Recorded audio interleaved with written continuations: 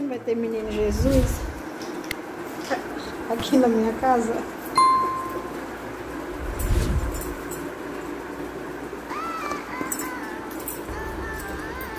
Eu não sei, mas tem bastante menininho aqui. Né? Não sei se é Jesus, se é visão de asa quebrada.